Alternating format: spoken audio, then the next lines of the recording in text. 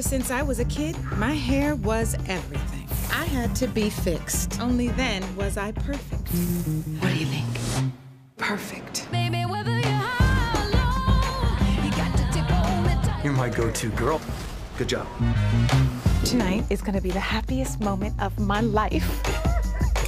What do you get? The perfect woman. Meet Lola. I was expecting a ring. You said I'm perfect. 24-7 perfection. You never let your hair down. You don't want you on the account. You can sponsor like six kids with that money you spend it for your hair. Excuse me? I apologize for my daughter. She knows better. Wow. Just be yourself. Who would that be? The anal compulsive Miss Perfect cut or the not fun, never spontaneous weave? Well, personally, I really like the wave.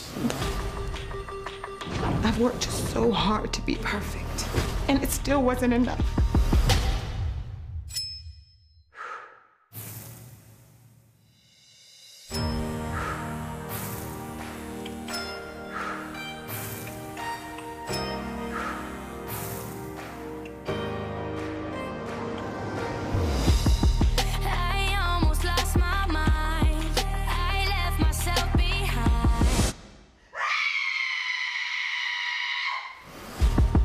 You think this is just something you did on a whim?